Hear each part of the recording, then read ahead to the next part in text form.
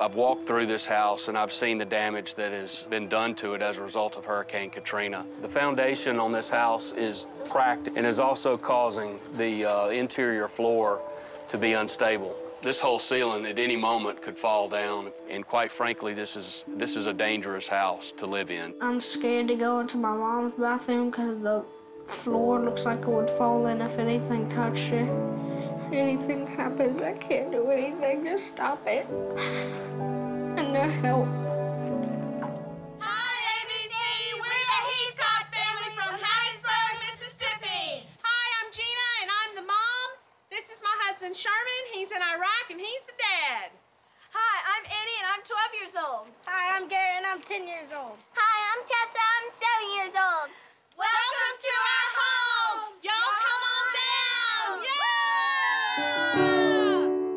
Heathcock's military career began during the first Gulf War when he enlisted in the Army National Guard. After his term of service ended, Sherman began a career protecting their community by serving as deputy sheriff of Hattiesburg and a SWAT team leader. When you think about Sherman, you think of a man who has literally put his life on the line for everybody all the time, every day. And we rely on Sherman Heathcock to keep us safe. After the events of 9-11, Sherman felt a call to national duty once again, and he re-enlisted in the National Guard. I'm very proud of my dad for all the things he does. He commands the rescue team, and he's keeping them safe, just like, just like he keeps all of us safe.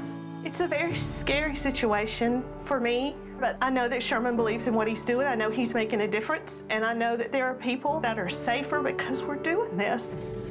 If we didn't have people like Sherman was willing to make the sacrifice to put himself out there, where would our country be? While Sherman risked his life leading rescue missions in Iraq, Hurricane Katrina swept through Mississippi. Sherman couldn't get in touch with us for days. He didn't know where we were, if we were okay, if our house was still standing. There were trees all over our roofs. The structural damages were devastating. We used the insurance money we had, but we didn't have any extra money, and the damages to the house were so bad, and they've just continued to snowball until it got out of control, and it's in the situation that it's in now. I'm Stead McCullough. I'm an architect in Hattiesburg, Mississippi.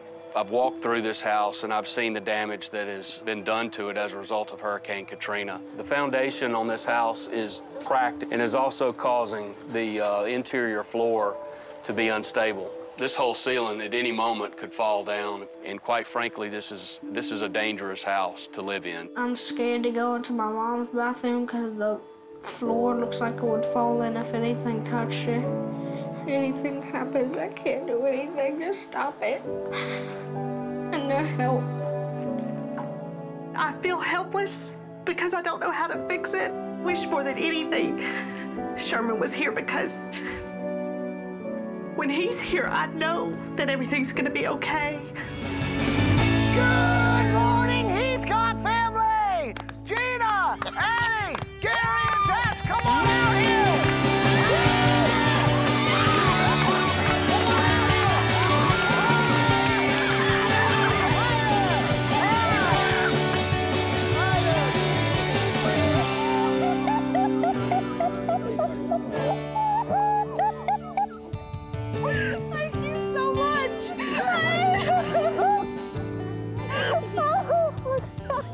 the bat, you can see there are leaks in the ceiling that are gigantic. Once that kind of structural damage is done, it has a ripple effect on other parts of the house. The foundation in some parts is not only cracked and crumbling, but in some areas it's just missing. You're dealing with something that has to be fixed from the ground up. Put the ball there. And Oh, no way. yeah, it goes over here. Not level. Not level. Completely. Not level. This is our kitchen. Not a lot in here works. My Wow. stove Look might how be old from this thing is. 1950. It doesn't work, but it's vintage. If this doesn't work, what do you use to cook? I, I cook in this. You're The- kidding me. I mean, that's a toaster oven. It is. Wow. Sit. Hut, hut, hut.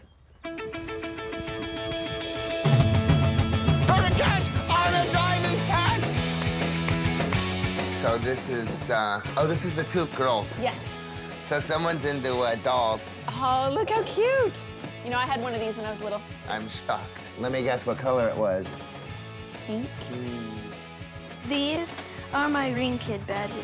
Your green kid badges. And What's she that? What's a green It kid? says little kids can make a big difference. Make a difference today and pledge to keep the world green. We're trying to encourage more recycling, and it's going it's going really good. Is that your idea?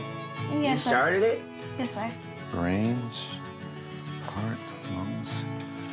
Gary loves sports and science. Perfect combination. So before you guys go on vacation, I want you to see the faces of the people that are going to be building your home. And here they come right now.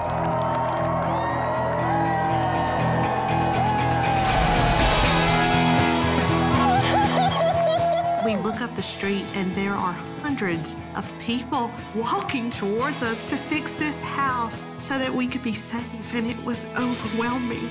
So this is our builder uh, this week, Dave Thompson with AAA Homes, and his partners, uh, Gary Fordham and Lee Everett. Perfect. Nice, thanks for that.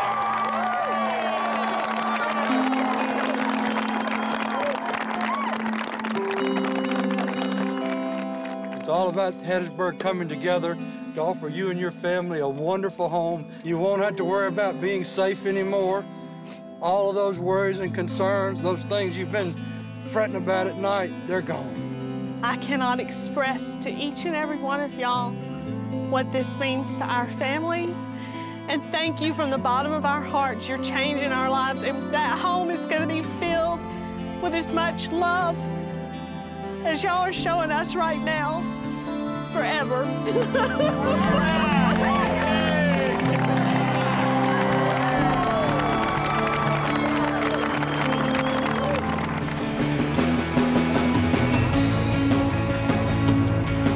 Tell me what this is all about here, because this looks like a big mess. This is called cellulose insulation. It's made from wood fiber.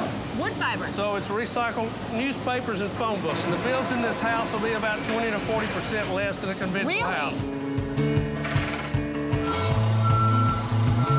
So got this card. It took 12 hours on the CNC uh, routing machine. All these are letters saying, I love you, I love you, I really, really, really love you. So this is going to be the top of the box. Okay. And this is wiggle board that I'm going to try and Wiggle board.